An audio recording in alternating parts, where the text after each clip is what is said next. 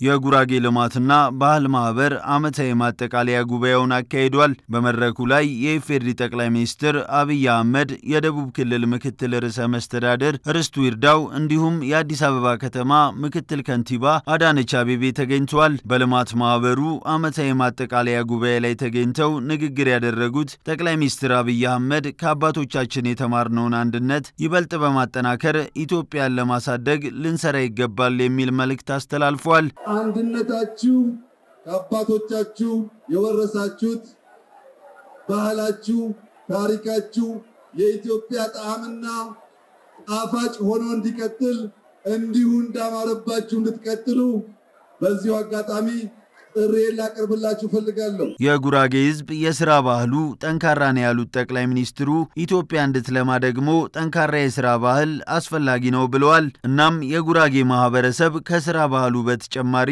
ለኢትዮጵያ ማሸነፍና መቀጠል ኃላፊነታችሁን እንድትወጡ አደራ ላለው ብለዋል ጠቅላይ ሚኒስትር አብይ አህመድ። ኢትዮጵያ እንድትበለጽግ እንድትለማ ዛሬም እንደ ትናንቱ ስራ እያሳያችሁ፣ ስራ እያስተማራችሁ፣ እቁብ እየጣላችሁ ሀብት እየተጋራችሁ ኢትዮጵያን እንድታስቀጥሉ እንድታሻግሩ አደራ ልላችሁ ፈልጋለሁ። የልማት ማህበሩ ለሚያደርገው እንቅስቃሴ የደቡብ ክልል የሚያደርገውን ድጋፍ አጠናክሮ እንደሚቀጥል የተናገሩት ደግሞ የደቡብ ክልል ምክትል ርዕሰ መስተዳድር ርስቱ ይርዳው ናቸው። የጉራጌ ልማትና ባህል ማህበር በልማት አጋርነት ለሚያደርገው እንቅስቃሴ ሁሉ የደቡብ ብሔር ብሔረሰቦች ህዝቦች ክልል መንግስት አስፈላጊውን እገዛ የሚያደርግ መሆኑን እያረጋገጥ የአዲስ አበባ ከተማ ምክትል ከንቲባ አዳነች አቤቤ በበኩላቸው ተባብረን መስራታችንና መደጋገፋችን ሀገራችንን ለማሳደግ የሚኖረው አስተዋጽኦ ከፍተኛ ነው ሲሉ ተናግረዋል። አክለውም በልዩነት ውስጥ ያለንን አንድነት በማሳየት ትልቅ ስራዎችን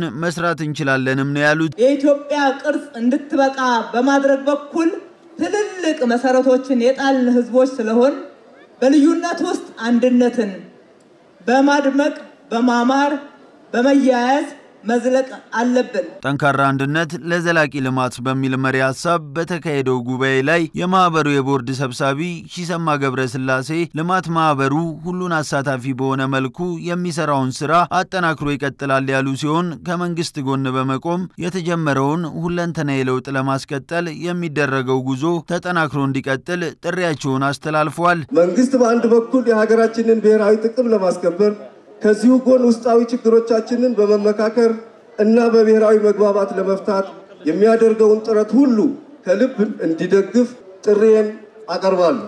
በማጠቃለያ ጉባኤው ላይም የአዲስ አበባ ከተማ አስተዳደር ለልማት ማህበሩ ለበዓል ማዕከል ግንባታ የሚውል ቦታ አስረክቧል።